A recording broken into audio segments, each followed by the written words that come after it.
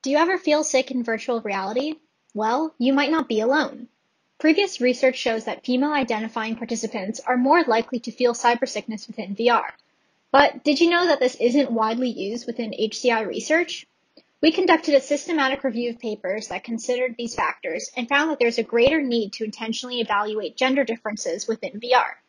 Read our paper to learn more about the recommendations that we provide for future research.